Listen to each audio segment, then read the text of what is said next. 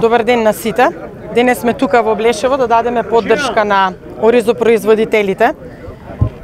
Земјоделците имаат право што се чувствуваат изневерено, не е тоа случајно. Оваа влада во континуитет со години зборува дека и ветуваше дека ќе имаат сигурен откуп, сигурен пласман, сигурни цени, а денес имаме ситуација каде што одредени мокници кои што ги нарекуваме нели откупувачи, блиски до власта, заработуваат на грбот на напатените, значи земјоделци, честни земјоделци, кои што со пот и труд се трудат да ги произведат оние производи кои што во исто време и поготово во голема економска криза, нели треба да ги обезбедиме заради тоа што на вистина ќе имаме една тешка и предстојна пред нас ни предстои една тешка зима.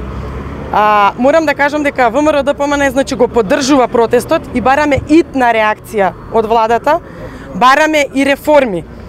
Ако имаше 100.000 евра да се потрошат точно во оваа криза за некакви прослави кои што во овој момент се беззначајни, веднаш да реагираат и да излезат со поддршка на земјоделците.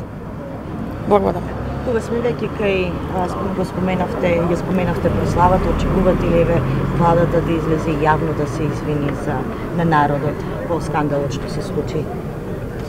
Министерката за култура значи воопшто не се ни огради, а не пак да го осуди настанот.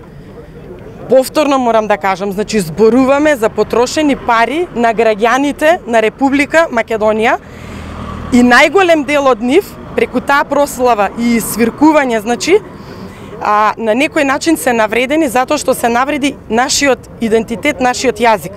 И сега ние како да очекуваме да не почитуваат нашите соседи кога самите не се почитуваме? Јасно е зошто власта не излегува, затоа што власта треба да излезе и да си го искритикува нивниот коалиционен партнер, а тоа е Дуј. Но тоа е една здружена криминална банда која што заради криминал и корупција, значи ќе ги премолчи сите работи. Од тука и Министерката за култура нема храброст воопшто да искоментира било што. Бараме подитно да се осуди таквиот настан. Така, ВМРО даде понуда до Ковачевски. Како епилог очекувате после ова? Во врска со уставните измени со пренијето? А, председателот Мицкоски беше многу јасен во однос нели на тоа прашање, а тоа е веднаш да свикаат собрание И ако се толку убедени, еве, да повелиме да видиме дека ќе освојат двотретинско мнозинство кое што нема да го освојат. И тука сме убедени заради тоа што ние имаме пратеници кои што се честни, кои што си ја сакаат државата, си имат интегритет и тие пратеници никогаш нема да гласаат за уставните измени. А доколку тие нели се убедени, еве повторно ги повикувам веднаш доколку се случи тоа, председателот е чесен човек, човек од збор си кажа дека веднаш ќе си поднесе оставка.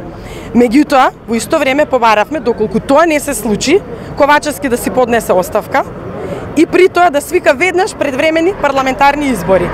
И Ковачевски, значи, апелирам да одговори на ова барање самиот, а не да ги повикува и да ги испраќа оние негови беззначени гласноговорници кои што во континуитет ги пушта да известуваат и да одговараат на барањата на и изјавите на председателот Мицкоски.